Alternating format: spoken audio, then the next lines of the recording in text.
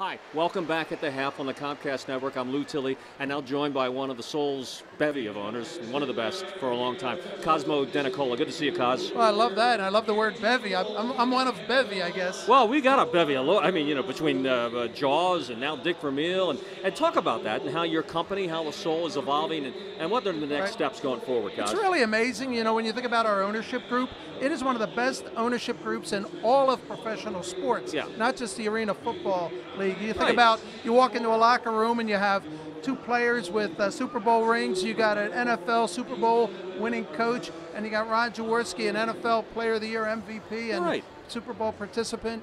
It just makes for an exciting uh, team, and, and you have a lot of experience that helps translate to on the field, and I think helps the product that we have and makes it a winning product. All right, let's talk about that because for you guys and where you've been and where you want to go, it's all about a championship. You're 10 and 3, you're in good shape in this game, maybe go to 11 and 3. But tell me about the playoff and how it's stacked this year. It's a little different, right? Well, my, my philosophy is a little different. People talk about we're in good shape.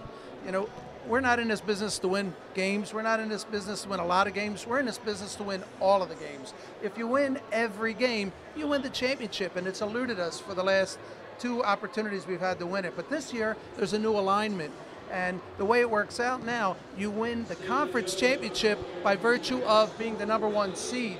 So we have three more games. If we win out, we will be the number one seed and be the conference champions by virtue of having beaten Orlando two times. Got it. And we'll have that game for you right here on the Comcast Network. And then the first playoff game, and maybe the second one, will be played right here at the PPL Center. Let's talk about the first half, Cos. 41 27, you lead the Cleveland uh, Gladiators, and your offense has been, I mean this, perfect. Dan Raudabaugh has completed every pass, and you've completed every drive for a touchdown.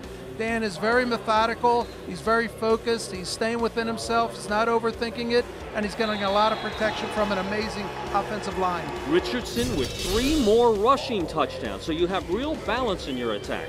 Well, I love the fact that they have uh, a lot of rushing uh, touchdowns today, but Dan was approaching a record for the number of uh, touchdown passes, and I wish he would have had an opportunity to do that, but there's still a second half. But perfect Cos, not a single incompletion on Dan's throws. And by the way, the Nelson kid, who was a linebacker when we last saw him, has thrown the ball pretty well for Cleveland as well. But the balls that Dan had thrown, no one can catch them but your receivers. That's where they're in the right spot. Like you said, he's been near perfect, but going back to the opponent's uh, quarterback, one of the things that's been really exciting about the AFL this year is that a lot of the number two quarterbacks have really stepped up their game, and I think that adds to uh, the product on the field and makes the playoffs very dangerous because you have some young, hot quarterbacks that are really you know, moving forward. And listen, Cos, 208 passing yards for Dan on just 10 completions. That's a pretty good average right there. Absolutely, and one of the nice things about Dan's development this year is that soft touch he has on that long pass.